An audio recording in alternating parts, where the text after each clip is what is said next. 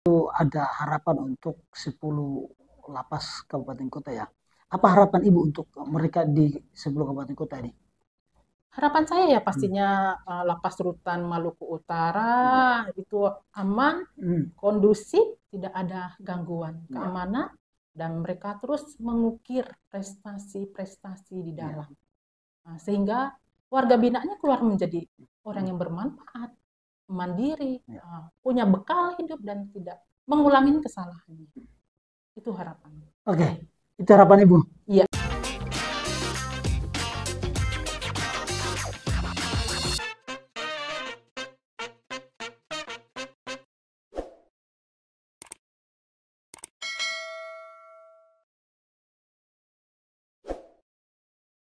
Assalamualaikum warahmatullahi wabarakatuh. Jumpa lagi bersama saya Jufri Dwila di Malut Pos Bazarita.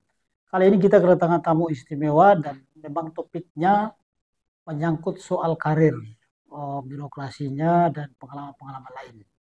Dan sudah bersama saya Ibu Kepala Divisi Permasyarakatan Kantor Perwakilan Kemenkumham Provinsi Maluku Utara. Selamat datang Ibu Lilis. Apa kabar Terima Bu? kasih Mas Pik ya. Iya Mas. Upi. Mas Upi. Apa kabar Bu? Baik, Baik. Alhamdulillah. Oke. Eh, tentu perbincangan kita ini soal eh, karir ibu yang memang informasi yang kita dapatkan salah satu satu-satunya perempuan yang menjadi kadif di eh, pemasyarakatan Kemenkumham ya Bu. Jadi gini, Ya. sebelum saya Kadipas di Maluku Utara, sebelumnya ada seorang ibu juga. Tapi Kadipas seluruh Indonesia ini 33 provinsi itu ada lima perempuan. Salah satunya Kadipas Lima perempuan dari seluruh Lima. Indonesia, perempuan dari seluruh Indonesia. Salah satunya Kadipas Maluku, Maluku Utara. Iya, Wah luar biasa Ibu. iya. Iya, cerita karirnya sampai pada puncak itu eh, perjalanannya seperti apa Bu?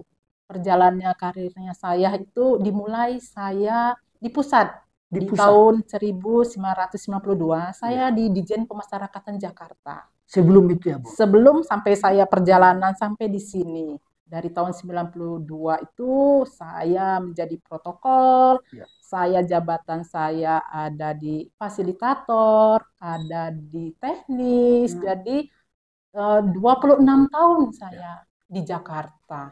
Itu saya banyak pengalaman, saya di pusat itu Iya. jadi datang ke seluruh eh, lapas-lapas seluruh Indonesia.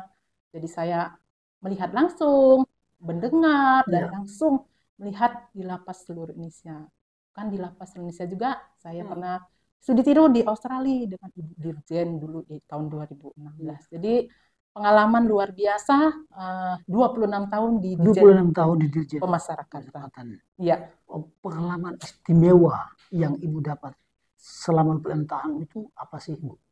Luar biasa. luar biasa. Saya bisa memantau lapas seluruh Indonesia dari satu lapas ke lapas lain. Mm-mm. Jadi ini pengalaman saya di pusat. Akhirnya saya di 2018 saya dipercaya pimpinan menjadi kepala lapas perempuan di Kerobokan Bali. pernah di Bali juga Bu? Pernah di Bali tiga Luar tahun biasa. setengah saya di Bali. Di Bali itu saya diberi kepercayaan oleh Ya. pimpinan. Kepercayaan itu saya jawab dengan prestasi. Jawab dengan prestasi apa saya jawab dengan prestasi Uh, di di Bali di Ya. lapas perempuan Kerobokan itu saya dapat predikat WBK itu wilayah bebas korupsi Wilayah bebas korupsi. iya itu Predikat itu yang predikat yang gengsi dari pemerintah Ya. ah itu lapas itu punya Oh, zona biasa. integritas ya jadi uh, lapasnya uh, bebas dari korupsi Ya. pelayanan kepada masyarakat Iya. sesuai dengan uh, apa yang sudah ditetapkan. Jadi 2020 saya meraih predikat WBK Di Bali lap- waktu itu. di Bali di lapas perempuan Kerobokan Bali. Jadi makanya saya bilang kepercayaan pimpinan saya jawab dengan prestasi. Dengan prestasi. Oke, kita ke Maluku Utara. Kapan Ibu ke Maluku Utara? Saya di Maluku Utara tahun 2022. Maret. 2002. Dan itu 2000 sudah menjadi sebagai eh, kadif. Sudah di saya Kalapas Perempuan Kerobokan, langsung saya uh, uh, menjadi kepala divisi PAS Maluku Utara Iya. tahun 2022 di. Maluku Utara. awal saya datang itu luar biasa. Saya lihat di Bali itu pemandangannya indah. Hmm. Ternyata di Maluku Utara tidak kalah indahnya. Tidak kalah indah dengan Bali. Tidak kalah Itu yang Ibu indah. lihat? Itu yang saya turun dari bandara. Ih, saya lihat di atas itu ini pemandangannya kok keren sekali dari Gunung Gamalama ya. Iya. Gunung Gamalama. Terus saya lihat ada Sultan ya, Sultan Babullah ya Iya. ininya. Bandara nama bandaranya. Nama bandaranya. Hmm. Keren sekali saya uh, di tempat kesultanan. Saya harus prestasinya harus lebih lagi. Iya. Karena kan saya bilang Lebih apa pun di lebih di Bali lebih itu ya. saya bilang di Bali saya jawab dengan prestasi ini saya harus lebih menggoreskan tinta emas di Maluku Utara. Itu yang memang kesan Ibu untuk eh, Maluku Utara yang pertama kali Ibu Pertama sekali saya sampai. saya pernah juga sih ke Maluku Utara waktu saya di pusat tahun 2017, Iya. tapi hanya sebentar. Tapi pas saya datang eh, 2022, saya di pesawat saya lihat Gunung Gamalama, pemandangan dari atas ini luar biasa. Alamnya indah sekali. Jadi tergerak hati saya. Saya harus menggores tinta emas di Maluku Utara. Seperti yang di Bali sudah saya lakukan. Berarti pekerjaan Ibu di Maluku Utara sejak 2022 Iya. hingga 2023 ini Bu, Iya, Sudah setahun setahun ya. lebih di sini. Untuk informasi soal pernah menjadi pengajar atau mungkin sampai saat ini aktif Pengajar, sebagai ya. pengajar di Fakultas Hukum Unhair ya, Bu. Jadi itu Ceritanya cerita. gimana sampai masuk eh, menjadi pengajar, Bu? Ceritanya, Iya. saya bilang, saya harus bikin sejarah di Maluku Utara. Apa ya? Saya ke Universitas Unhair. Iya. Saya ketemu Hairul. ya sama rektor. Saya bilang, Pak Rektor, ah, ayo kita bekerja sama. Kami punya lapas rutan se-Maluku Utaranya ada Iya. 10 lapas rutan, ada dua bapak, satu eh, rumasan. Iya. Ini ada 10 lapas rutan. Bagaimana eh, Unhair Mm. dosen bisa memberi pelajaran ke Ya. warga binaan kami, narapidana kami. Akhirnya mimpi saya itu terwujud di tahun Itu ini upaya yang sangat luar biasa nih, untuk Iya. melakukan pembinaan terhadap eh, betul, betul. masyarakat Betul. Jadi saya ketemukan rektor, Pak Rektor, kita harus MOU.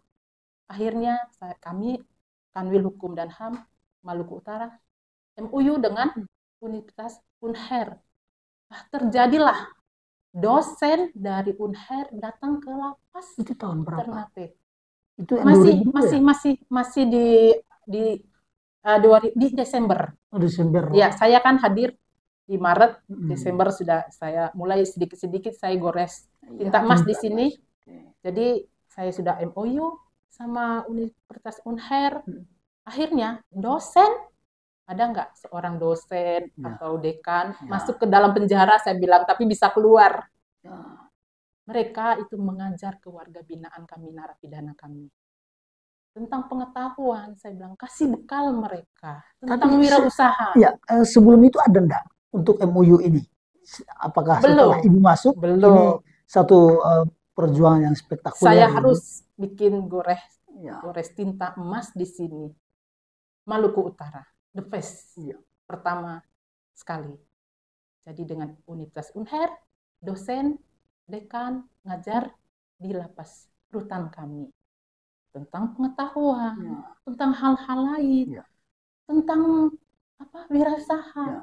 Biar bagaimana mereka keluar ini tidak Berarti Kembali dosen lagi. yang yang yang mengajar itu tidak hanya dari Fakultas Hukum ya, Bu? bukan Pasti ada berapa Dari berbagai fakultas. betul. Semua kami Wah, MOU. luar biasa. Berarti ada beberapa eh, fakultas selain hukum ya? banyak banyak Banyak. ada kesehatan sampai ada dosen juga memberi apa tentang sosialisasi tentang Ya. kesehatan di dalam. Kebersihan. kebersihan diri. Ini kan yang tidak diketahui oleh masyarakat. Wah, luar biasa. ini Bu. sudah kita lakukan di Maluku Utara. Akhir itu saya bermimpi lagi. Saya tidak mau dosen sama des- dekan saja mengajar di lapas rutan saya juga mau dong. Ya, itu awal itu ceritanya Ibu awal ceritanya. pengajar. saya lihat kok kok enak ya dosen ngajar di lapas saya. Saya juga mau dong tuker ilmu untuk di universitas saya juga mau Mahasiswa. dong jadi Ya. dosen Ya. akhirnya itu terwujud praktisi mengajar. Saya Yang ngadep pertama. Pak Rektor. Pak Rektor, kami dong Pak Rektor. Kalapas, Karutan, Kabapas bisa mengajar di Unher. Hmm. Mengajar tupoksi, sharing ilmu, Berbagi ilmu. berbagi ilmu bagaimana di lapangan. Seperti apa di Ya. lapangan sih? Yang selama Ilmu. ini mahasiswa mungkin cuma oh, Teorinya. teorinya saja. Praktiknya lapangannya seperti apa. Iya.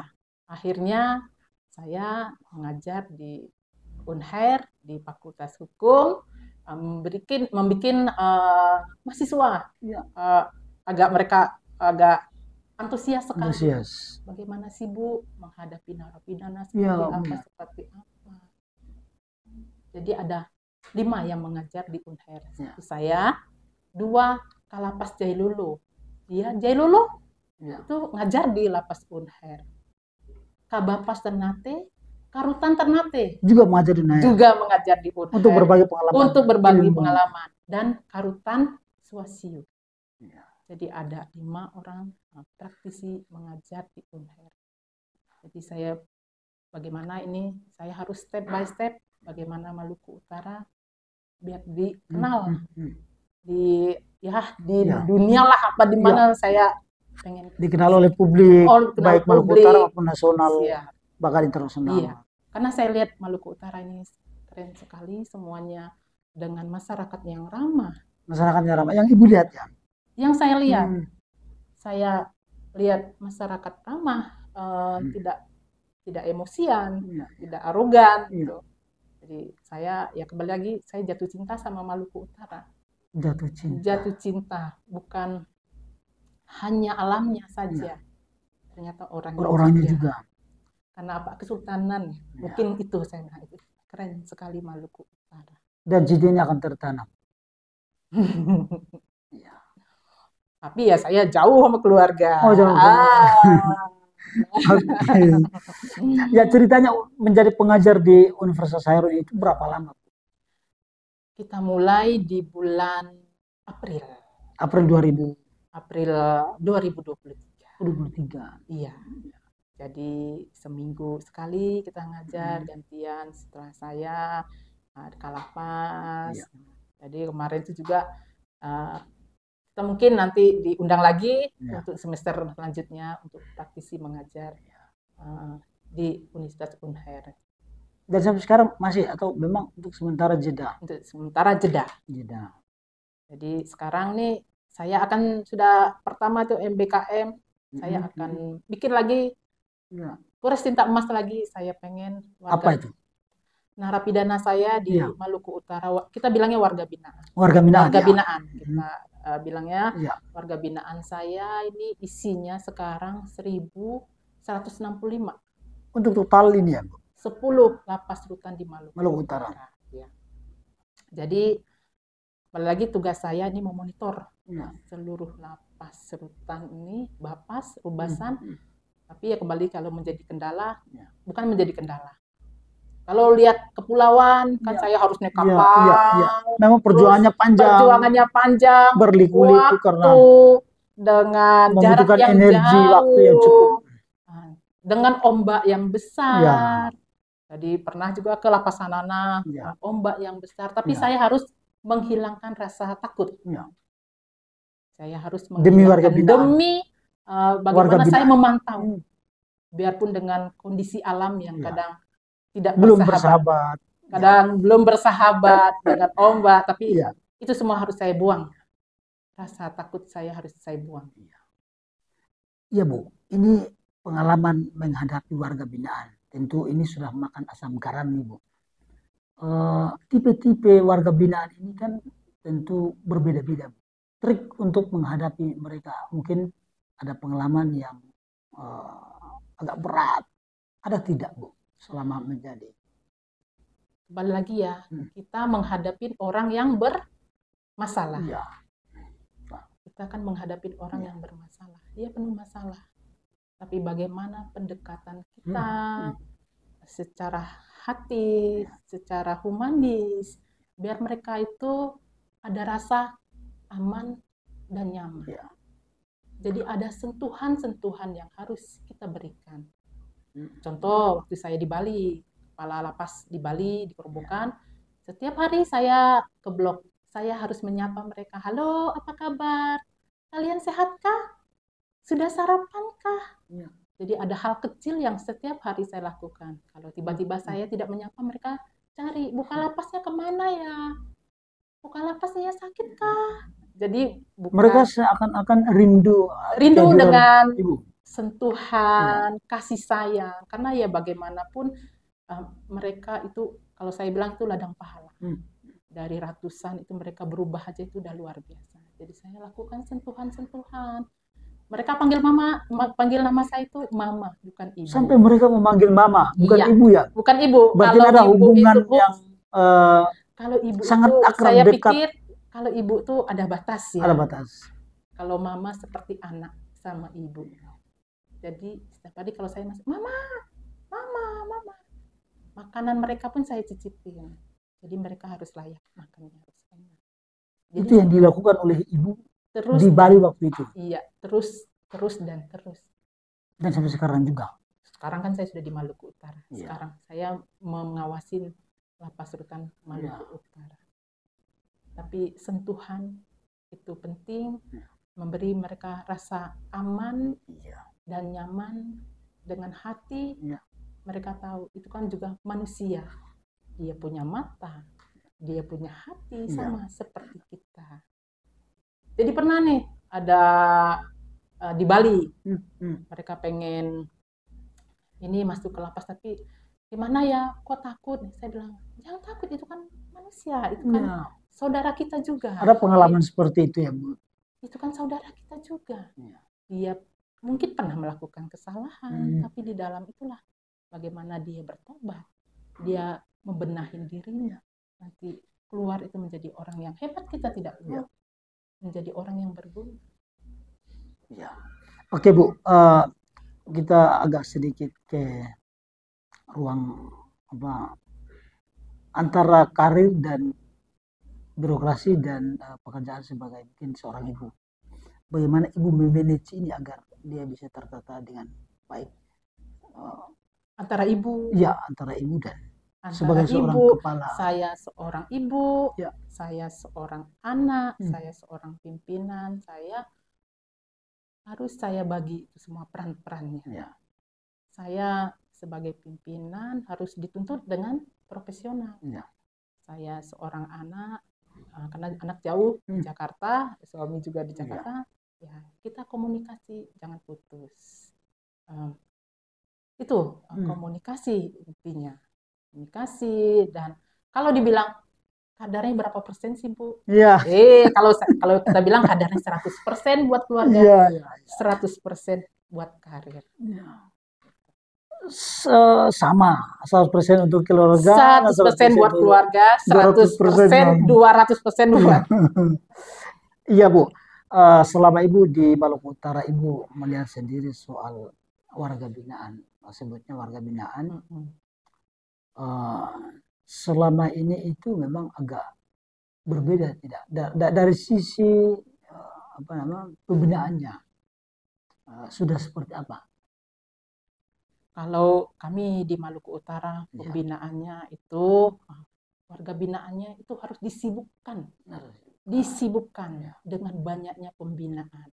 Karena kalau mereka tidak disibukkan dengan banyaknya pembina, pembinaan, Iya. mereka pasti akan ngelamun, pikirannya negatif, Iya. kapan keluar ya, kapan kabur ya, kapan mereka melakukan Itu yang hal yang ada tidak di diinginkan. Ber- ya. Nah, jadi bagaimana pembinaan di lapas itu harus terus terus terus sehingga mereka capek sampai malam cuma tidur. Jadi mereka pagi melakukan kegiatan apa, melakukan pembuat apa, bikin kursi, yang Kreativitas, kreativitas ya. apa pun itulah pembinaan di dalam lapas Hmm, ini yang hmm. terus kita dorong sehingga mereka capek malam cuma tidur. Jadi Ya. mereka tanpa terasa waktu sudah berlalu mereka keluar dengan penuh bekal. Iya. Gitu. Jadi kita sibukkan dengan banyaknya kegiatan-kegiatan di dalam lapas. Sehingga Hmm, hmm. pikiran-pikiran negatif mereka terhindar Diminimalisir di, ya min- gitu ya. dengan banyaknya kegiatan-kegiatan. Ya. Nah, makanya saya ada dengan Unhair, Iya. Unhair masih kemarin juga Unhair Kalau tidak datang ke lapas itu Hmm. Unhair itu Zoom. Oh, kalau sudah datang mereka lewat Zoom. Zoom ya. Ya, itulah makanya saya terima kasih sama Hmm. Unhair sudah bekerja sama sama Unhair, sudah mengajarkan warga binaan kami, sudah memberi bekal, dapat ilmu. Oke, terakhir Bu, eh, lewat program podcast ini tentu ada harapan untuk 10 lapas kabupaten kota ya. Apa harapan Ibu untuk mereka di 10 kabupaten kota ini? Harapan saya ya pastinya eh, lapas rutan Maluku Utara itu aman, Hmm, kondusif, tidak ada gangguan Ya. keamanan, dan mereka terus mengukir prestasi-prestasi di Ya. dalam. Nah, sehingga warga binaannya keluar menjadi orang yang bermanfaat, mandiri, Ya. uh, punya bekal hidup dan tidak mengulangi kesalahannya. Itu harapan. Oke, itu harapan Ibu. Iya, Selama hidup eh, hingga saat ini, motivasi hidup Ibu sebetulnya apa sih? apa ya motivasi ya? Mungkin motivasinya kita tidak bisa melakukan sesuatu dengan sempurna, tetapi kita diberi kesempatan untuk melakukan yang benar. Itu Itu motivasinya. motivasi. Oke. Saya kira terakhir apa demikian perjumpaan kita di sore hari ini. Sekali lagi saya ucapkan terima kasih kepada Ibu Lili. Semoga karir Ibu semakin eh, maju, sukses dan jaya ke depan. Terima kasih Ibu. Terima Eh, kasih, Mas terakhir, ya, again saya ucapkan Assalamualaikum warahmatullahi wabarakatuh. Waalaikumsalam warahmatullahi Ya, wabarakatuh. makasih.